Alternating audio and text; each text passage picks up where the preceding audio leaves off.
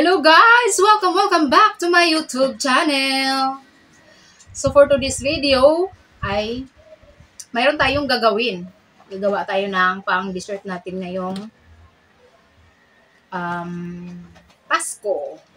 Ayan, kasi may nagbigay sa amin ng fruit cocktail. Binigyan kami ng fruit cocktail. So gawa natin ng paraan guys. Um, gawin natin uh, fruit cocktail float. So, kasi wala tayong pambiling mangga, dapat gagawa kami ng mango graham. So, may nagbigay sa amin ng fruit cocktail, ayan.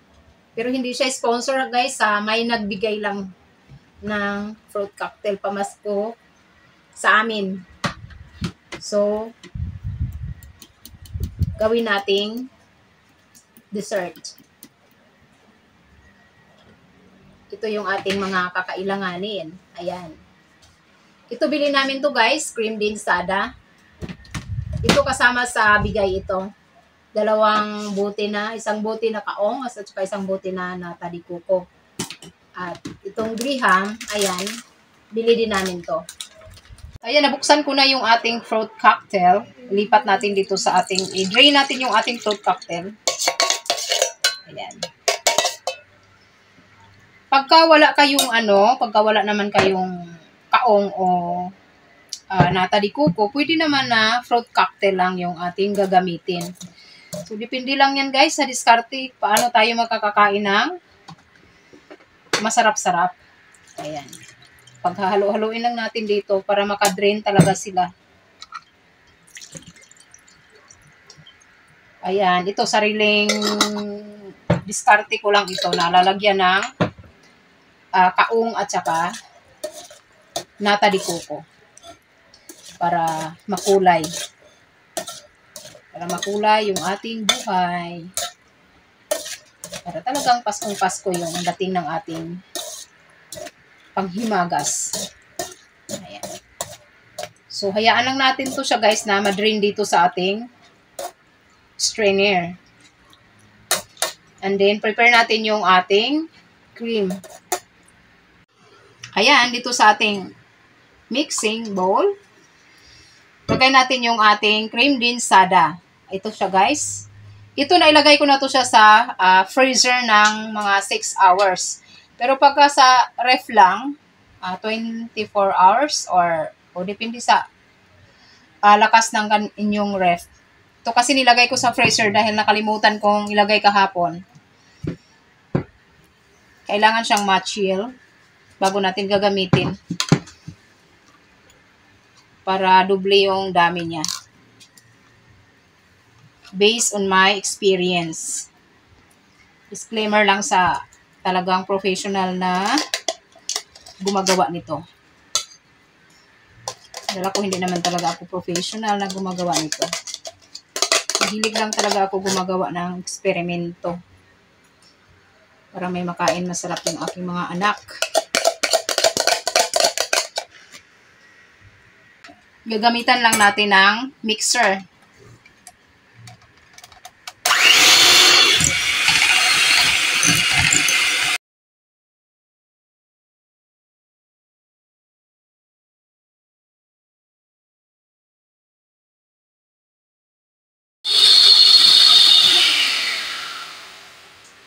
So, ayan. Doble yung ating mixture.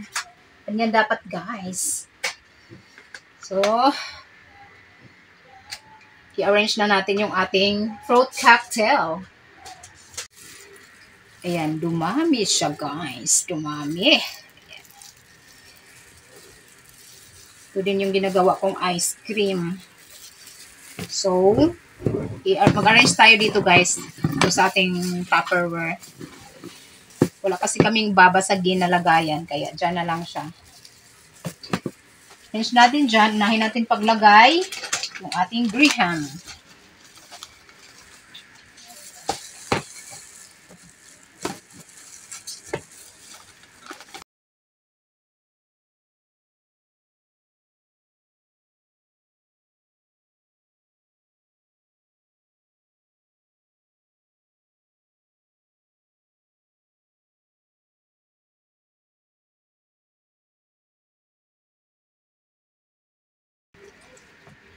Pa-flat-flat lang natin siya, guys. And then, maglagay tayo ng fruit cocktail.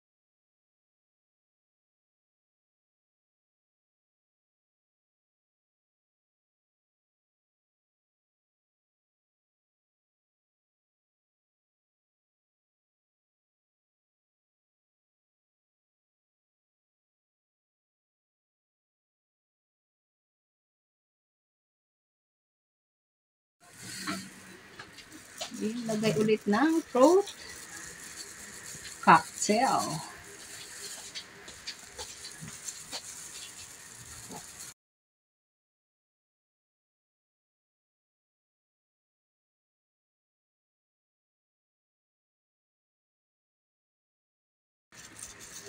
So, diba? Ang ganda.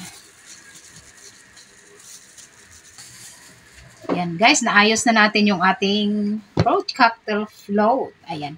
So, ito guys, ilagay muna natin to siya sa ating freezer bago natin kakainin. I-chill natin to siya guys ng mga uh, 24 hours. Or kaya kung pagka sa freezer nyo ilagay mga 6 hours lang, pwede na siyang kainin.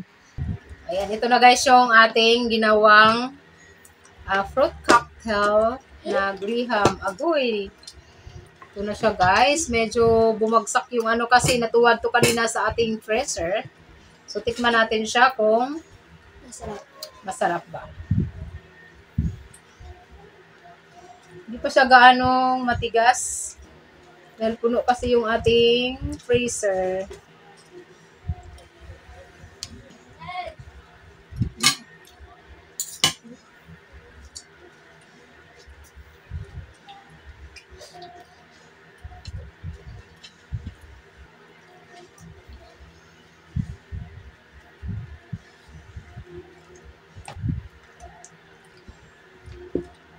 Malatin. Agoy, mukhang ang sarap nito. Ito guys, yung ating fruit cocktail na graham. Ayan. Tikman natin kung talagang masarap ba. Ayan, may gustong tumikim din. Halika dito, tabi ka. Halika dito, tabi. Halika, tabi. Ay, sa yung TV channel. Halika dito, dito, dito, dito, dito, dito, tabi. Tikman namin guys. Oh, si RB, halika na. Kain na, kain na na. Kain na na guys. Kainan na! Kain na na naman. Lucia, saan ka na? Oh, MC Gamer. Ay, si MC, MC Gamer, ang inaatake niya yung Biko. Bicho. Mamimiss ni Kuya ang Bicho. Mamimiss ang Bicho. Mm. Oh,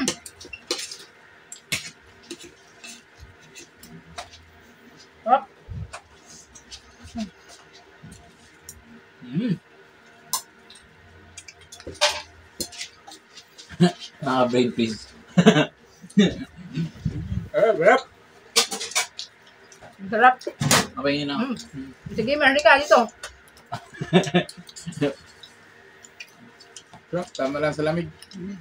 Sobrang sa lamig, di mo mangunguya eh. Ah, trap.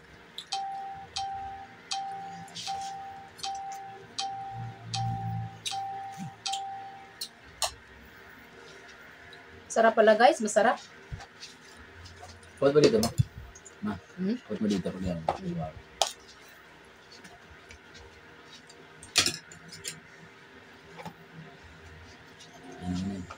No, Dagdagan pa? Okay na. Puwat dito. Kulihan mo. Hmm. Hello. Ano?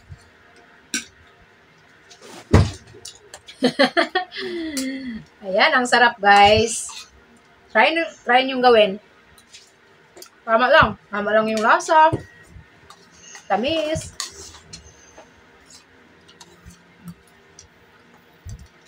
May bibi din ako sa katabi kong baby. May sikan baby. Yung isa kong baby kaharap ko.